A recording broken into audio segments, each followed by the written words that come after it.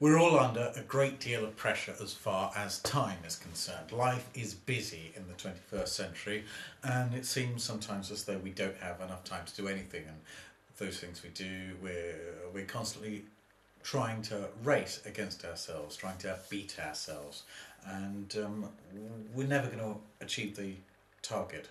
And so, in order to avoid that terrible, crushing sense of disappointment and wasted time and inefficiency, there are various approaches that we can have. Uh, you can make a to-do list, which most people do, lots of people do. You could have timetable targets, and you can have what I call the kitchen timer technique. Now, I'll deal with these in order. The to-do list is quite simple. You write down what you need to get done and then you do it and you tick it off as you go along. Um, a lot of people actually add things to to-do lists that they have already done in order to have the satisfaction of ticking them off and there's nothing actually wrong with doing that. Um, the advantage of the to-do list is that it does give you a sense of achievement. The disadvantage is that the to-do list tends to never be completed because there are always more things to do and so if you remember something, you know, if you think, oh, I'll have to, I need to go shopping on Wednesday, you add it to the list. Um, oh, shopping, I need to get this and that and the other and cat food. Add it to the list. So the to-do list it does give you a sense that uh, it gives you a sense of achievement when you tick things off, but it also gives you a sense of failure. It's constantly reinforcing the feelings that there is more and more to do and that it never gets completed. Okay, timetable targets. Um, what you do is you decide what needs to be done. You set yourself a timetable. You you assign say twenty minutes to achieving goal A, a couple of hours to achieving goal B. You might split that couple of hours over two different periods in the morning and the afternoon, on a Monday and a Wednesday, um, and then you, you put into action. You follow the timetable, you make yourself these rules and you follow them. The advantage is that you know what you're doing and you know when you're doing it. The disadvantage is that it's it's not really a creative, it, it doesn't lead to creative and constructive free thought. And so certain kinds of activities that are um, the kind that, you know, that are more artistic, more creative, scrub that word artistic, uh, more creative and more and freer, those targets, more difficult to fit into that restrictive timetabled um, technique. And the third one, which I favour, is the kitchen timer technique. Um, now, what you do is you decide what you need to get done, and then you use one of these. Hopefully, one that's egg shaped because um, I love egg shaped timers. Um, and what you do is you set it to 20 minutes.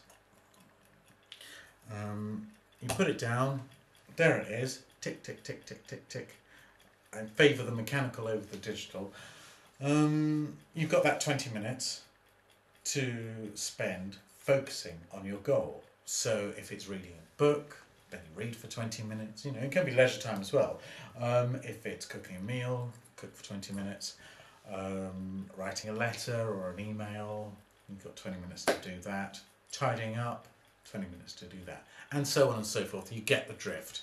Um, you've got that 20 minutes and then it goes off, you stop what you're doing, draw a line under it, go on, move on to the next thing.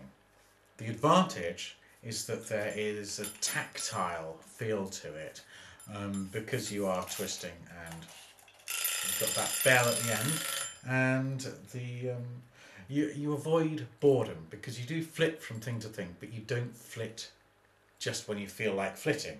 It's not a whimsical thing. It's uh, it's something that you do according to a schedule that is set by a timer, twenty minutes. If twenty minutes doesn't suit you, then set it to something else. But but you know you're not you're not looking at spending two hours on on any one thing because that leads to boredom and wasted time, inefficiency.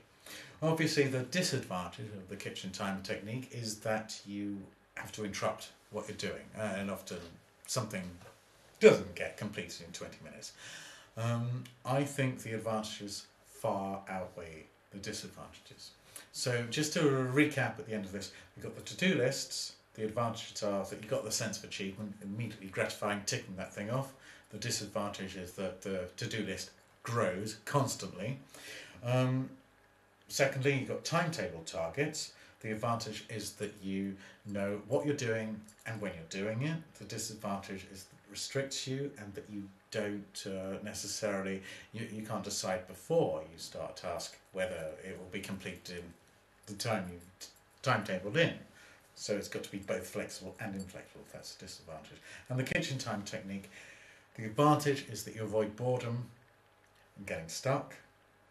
Um, and the disadvantage is that you do interrupt what you're doing. But I think the advantages of the kitchen time technique, because it is so tactile, so physical, and you're making your own rules and you're playing by your own rules, that's a major, major advantage. And I honestly think that it leads to achievement, which can only be a good thing.